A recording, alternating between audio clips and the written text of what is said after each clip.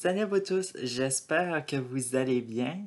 Alors donc, euh, comme vous le, vous le savez peut-être ou pas, alors donc euh, nous sommes le, le week-end et au moment où je tourne cette vidéo-là, nous sommes l'avant-veille euh, de la journée nationale des peuples autochtones. Alors donc, dites-vous que ça fait plus de 25 ans que nous célébrons cette euh, journée très, euh, très importante. Euh, question de célébrer l'importance et la présence des, des, Autochtones au Canada. Et j'aimerais vous dire du territoire non cédé, Mohawk, dont J'habite à Montréal, excusez-moi, je voulais dire. Alors donc, euh, de Montréal, euh, de un territoire euh, non cédé de, la, nation Mohawk, j'aimerais vous dire une excellente journée nationale des Autochtones. célébrer qui vous êtes en tant qu'Autochtone parce que vous êtes un vous êtes de magnifiques peuples euh, et puis, euh, on aimerait euh, plus vous entendre et... Alors donc, ouais, c'est ça. c'est ça. Alors donc, pour cette vidéo-là, on va faire un, un, plein de culture, mais aussi de recommandations de médias, quoi ne pas, disons-le, quoi ne pas disons-le, raté ou euh, même qui, serait, disons-le, qui vaut le détour même. Alors donc, euh, on va commencer par euh, cette semaine parce que vous savez que cette semaine, c'est lundi, c'est la journée nationale des peuples autochtones.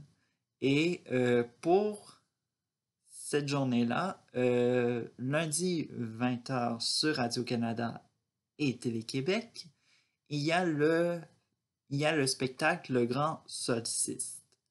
Alors donc, le, Grand Solstice, ça va être un spectacle euh, qui, met, en vedette des artistes autochtones, mais aussi euh, un peu d'artistes euh, non autochtones ensemble pour célébrer un peu, comme dirait Elisabeth, la fête nationale des Autochtones alors donc, euh, c'est à voir, euh, c'est également. Alors donc, euh, rendez-vous lundi 20h sur Radio-Canada et également sur Télé-Québec. Alors donc, les deux diffuseurs vont diffuser en même temps ce spectacle-là. Mardi 20h sur, sur CBC, c'est les Inspire Awards. Alors donc, euh, ce gala va récompenser l'excellence euh, de personnes autochtones. Et euh, c'est un peu ça. Alors donc, je vais regarder ça moi aussi. Alors donc, bien sûr, pour les Inspired Awards, c'est mardi 20h sur CBC. Bon, maintenant, les recommandations. Alors donc, pour les films, séries et documentaires, je vous recommande la plateforme CBC Gem. Vraiment, euh, cette plateforme qui est de cette plateforme qui est de, CBC euh, a réuni une collection euh, mensuelle. Alors donc pour le mois de juin, c'était consacré euh, au mois de l'histoire des Autochtones. Alors donc, euh, vous avez des séries, des films, des documentaires. Vraiment, euh, vous avez vraiment une collection assez riche de, de, de, de, visionnement qui met en vedette la visibilité des Autochtones. Maintenant, côté musique. Alors donc, le côté musique, alors donc pour ceux-là qui sont des, amoureux de la musique et tout ça, alors donc, je vous recommande des classiques. Alors donc, on va commencer avec le avec l'audio Cash Team, euh, qui était très connu au Québec et peut-être ailleurs au Canada. Florent Volant. Et du côté anglophone, pourquoi pas s'offrir du Buffy Sainte-Marie. Maintenant, pour les, plus modernes et tout ça, alors donc, euh, je vous recommande euh, Elisa P., euh, Jeremy Dutcher, et pour ceux-là qui veulent du moderne, mais aussi qui veut garder un côté un peu traditionnel, je vous recommande Tanya Tagak. Alors donc, euh, j'aimerais dire également que toutes les, que toutes les recommandations que j'ai faites euh, vont, vont être euh, également mis en, en description et tout ça pour pas que vous fassiez une erreur ou que vous arriviez sur n'importe quoi également. Alors donc, je vais euh, tout ça. Maintenant, du côté de la littérature. Alors donc, euh, je sais qu'il y a des amoureux de livres euh, chez certains d'entre vous et tout ça. Et bien sûr, c'est le bon temps, le bon mois également pour consommer euh, de la lecture autochtone. Alors donc, il y a également des auteurs qui vaut le détour. Alors donc, nous avons Michel Jean, Joséphine Bacon, Naomi Fontaine et Natacha Canapé-Fontaine. Tout ça. On passe des livres maintenant jusqu'au musée et tout ça. Alors donc, euh, alors donc euh, le musée, j'aimerais vous dire que si vous allez en vacances et tout ça, ces trois musées peut-être pourraient être votre prochaine, pourraient, pourraient être sur votre liste. Vraiment, je vous les recommande. Alors donc, nous avons le Musée des beaux-arts euh, de Québec qui présente euh, Univers Inuit. Euh, alors donc, une exposition d'œuvres faites par Ma... Manasi Akpa... Akpapli... Excusez-moi pour la prononciation, je voulais pas et tout ça. Euh, c'est un peu difficile. Mais en tout cas, je fais des efforts. Le deuxième, c'est le Winnipeg Art Gallery, qui vient juste d'inaugurer son espace euh, Kama, si je, si je le dis très bien, tout ça. Donc, un lieu qui est consacré aux artisans euh, inuits. Alors donc, euh, bien sûr, si vous allez à Winnipeg et tout ça, le Winnipeg Art Gallery est votre prochaine destination.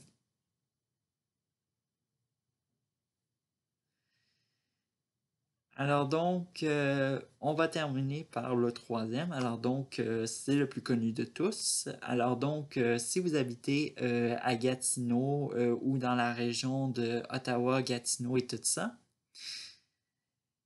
le Musée canadien de l'histoire propose des activités, euh, que ce soit en personne ou en ligne.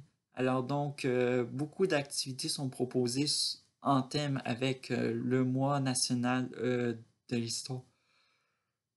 de l'histoire des Autochtones. Alors donc, bien sûr, alors donc, bien sûr, c'est un peu tout. Alors donc, on passe maintenant du culturel, de, l'univers culturel aux médias et tout ça. Alors donc, euh, on y va dans la catégorie euh, actualité médias. Je sais que euh, c'est très rare d'entendre des nouvelles, disons-le, provenant des... mettant en, en visibilité euh, les peuples autochtones et tout ça. Et euh, les médias euh, sont là un peu pour et tout ça. Alors donc, si vous voulez vraiment un média autochtone et tout ça, je vous recommande la chaîne APTN et tout ça. Alors donc, qui est la Aboriginal People Television Network. Alors donc, euh, c'est une chaîne 100% autochtone, alors donc euh, qui qui n'est pas indépendante, mais bref. Sinon, si vous voulez juste de l'actualité et tout ça, alors donc vous pouvez euh, faire confiance à Radio-Canada qui propose son espace autochtone et également CBC qui propose CBC Ingenious. Alors donc des espaces qui sont dédiés également à l'actualité, également à des chroniques, également faites par. Il faut savoir que aussi, moi j'aime beaucoup.